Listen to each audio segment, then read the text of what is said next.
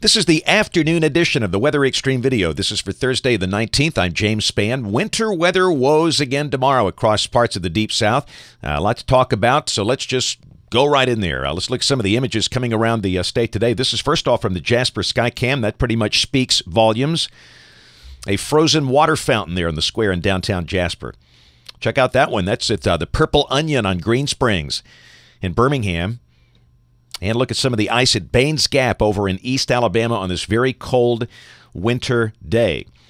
Trough over, over the east. That delivered the cold air for most the coldest of the season.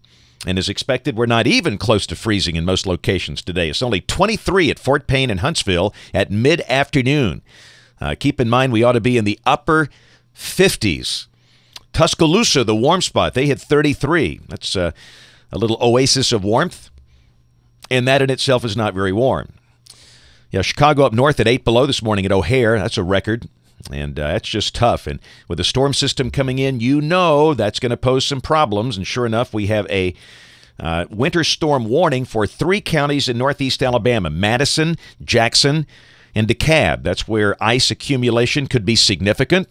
Uh, late tomorrow and tomorrow night, that includes Huntsville, Scottsboro, Fort Payne, Mentone, Collinsville.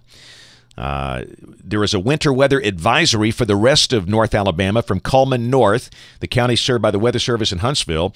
Uh, the Weather Service in Birmingham not opting for any advisories at this point, and I don't have it on that graphic, but the Weather uh, Service over in Atlanta has posted a winter storm warning for much of North Georgia and a winter weather advisory down into Atlanta. Uh, this is the chance of ice accumulation from 6 o'clock local time tomorrow until 6 o'clock local time Saturday. Some really high percentages north of the state over Tennessee and Kentucky, where they really don't need that. But again, clearly, parts of North Alabama and North Georgia could see some significant icing.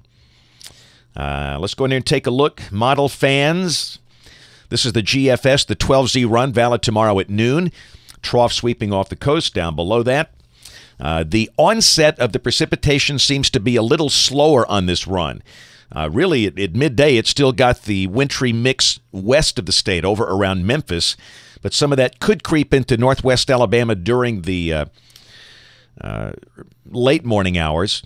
And the freeze line is, you can see that red line is up to the north of Birmingham. Now, this is 6 o'clock tomorrow evening. And uh, the freeze line runs uh, down to Fayette and Jasper and then up north. It's not going to look exactly like that. And keep in mind, when precipitation begins, we'll have evaporative cooling, and those numbers will come down a good bit. And clearly, there's a chance of this messy, wintry mix. Uh, initially, probably snow, then a change over to sleet and freezing rain as the cold air gets shallow. This is midnight Saturday night. The, the GFS has a lot of this stuff pretty far north, really north of Cullman, north of US 278, up in the uh, far northern part of the state, mainly along and north of the Tennessee River. And then Saturday morning at 6 o'clock, we're still seeing the chance of freezing rain over Jackson and DeKalb counties. And again, that's the concern a long duration freezing rain event for Jackson and DeKalb counties. Now, Cherokee and Etowah, it's going to be a close call. Uh, they're right on the dividing line. And then this is noon Saturday, and we're just in rain over North Alabama with the uh, wintry mess onto the east.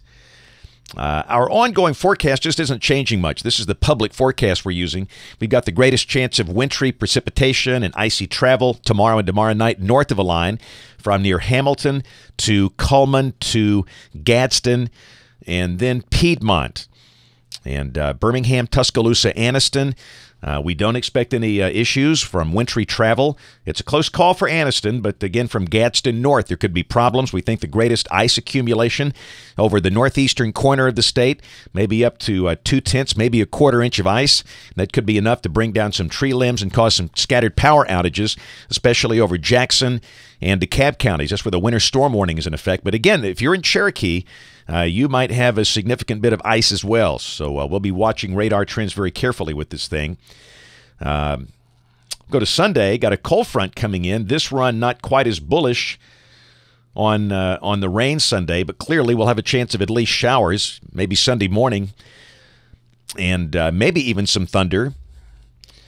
We'll go to Monday, and again, we've got this next impulse coming in, and the models are all over the board on this. And you can see this wintry mix uh, west of the state Jackson, Mississippi, Monroe, Louisiana.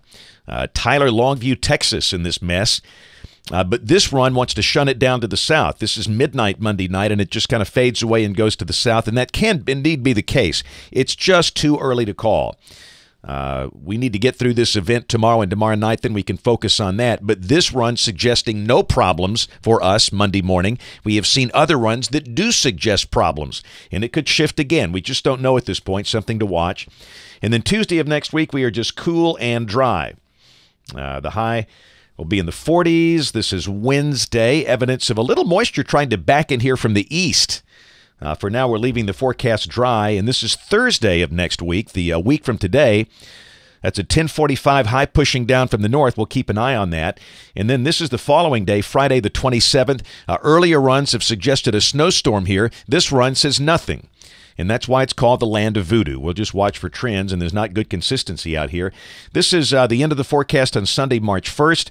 Uh, broad troughing is out in the western states, and it looks like uh, finally they'll start to cool down. They've had a very mild winter so far.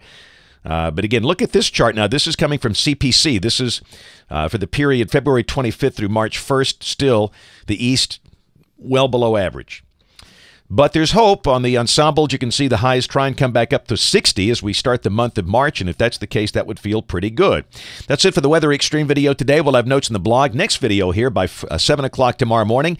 If you can't catch us this evening on the live stream of the television site, ABC 3340 News at 4, 5, 6, and 10. Thanks for watching. Have a great evening and God bless.